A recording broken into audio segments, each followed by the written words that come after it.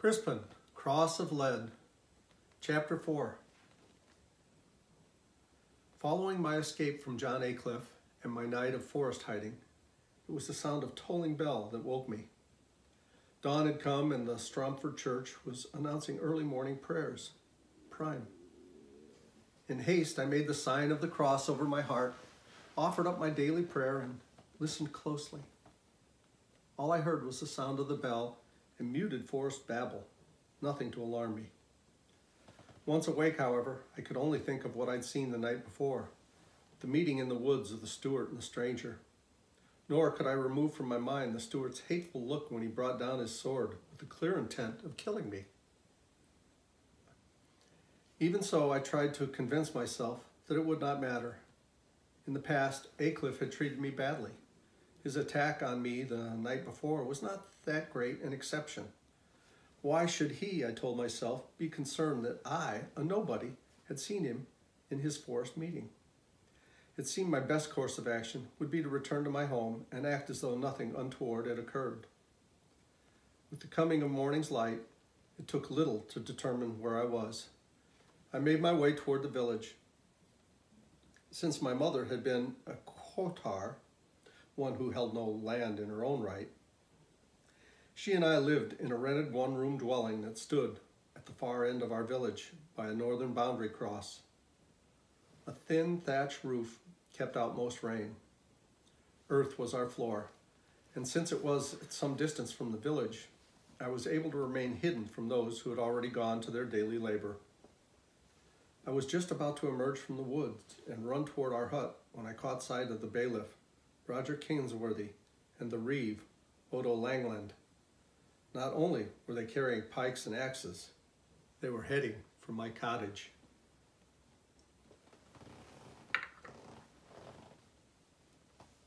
Unsettled, I drew back quickly and concealed myself behind some bushes to observe their intentions as they entered our small building. Perhaps they were looking for me because they emerged in moments. But then, to my great shock, they began to use their tools to pull the structure down. The cottage, being of small, mean construction, could not withstand their assault. Within moments, it was little more than a heap of thatch, wattle, and clay.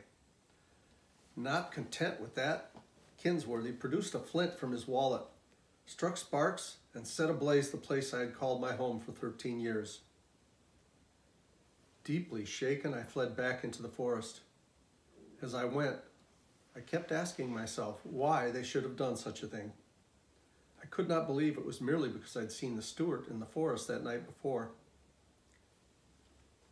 Once within the woods, I decided to go to a high rock which stood near the forest edge and overlooked our village. Though the rock was difficult to climb, I'd done so before on one of my solitary rambles. It was to be hoped that I'd see something to help me understand what was happening. It was not, however, until mid-morning, which I knew by the position of the sun and the ringing of the church bell proclaiming tierce, that I reached the rock. Once having made sure I was alone, I climbed. While the rock was not an easy ascent, at some places it was little less than a cliff, I reached the pinnacle. Once there, I took the further precaution of lying down. Only then did I lift my head and look about. Before me, like some rolled up tapestry, was my entire world. Beneath a sky as blue as Our Lady's blessed robes, a contrast to the greening spring that lay abundant everywhere. Overhead, swallows flitted, free as birds ever are. To the west meandered the river Strom, glittering like a silver ribbon in the golden sun. At this point, the river ran at a shallow depth. Like most, I could not swim, but for much of the year one could wade across.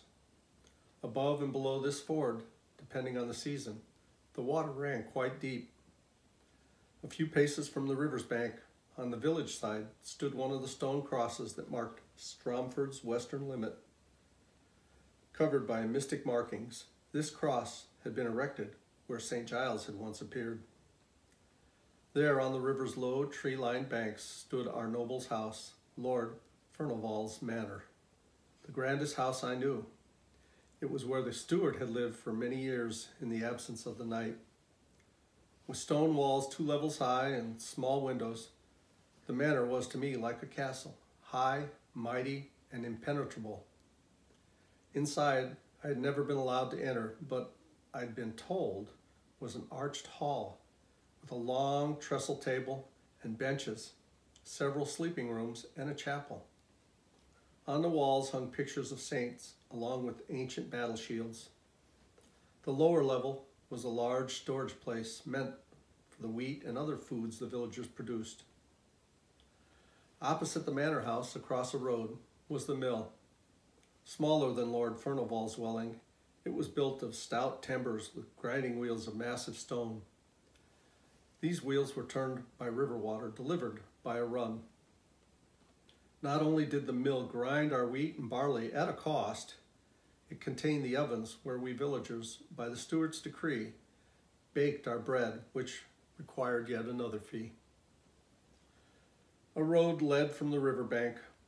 Once a traveler had crossed the river, a road led east and reached another road that ran north and south. Where these roads met, our stone church, St. Giles by the river, stood with its ancient bell. Above and below the church were our dwelling places, some forty cottages and huts of wattle and daub, thatch and wood, dirt and mud, all in varying shades of brown. North of the village was the commons, where we peasants grazed our oxen and sheep. Here too were the archery butts where men of age were required by King Edward's decree to practice every Sunday. It was also the place where the public stocks and gallows stood. The land for growing crops was laid out in long, narrow strips. One of three strips was planted with barley, another wheat.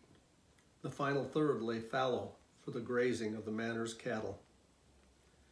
As for the two roads that passed through Stromford, all I knew was that they led to the rest of England, of which I had no knowledge. And beyond England, I suppose, came the remaining world. Great Christendom, our priest called it. But in all my life, I'd never gone past the boundary crosses which marked the limits of our village. Emerging from the woods, the cottages, the manor house, the mill, the roads, the growing lands, the commons, even the church itself to the tiny cross behind our cottages used for planting herbs and roots. Everything belonged to Lord Furnival, who held it in the king's name.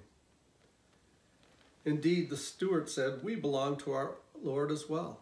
Like all villagers, we were required to ask the steward's permission to be excused from work if ill, to grind our wheat or bake it, to buy or sell, to travel from our parish, to marry, even to baptize our children.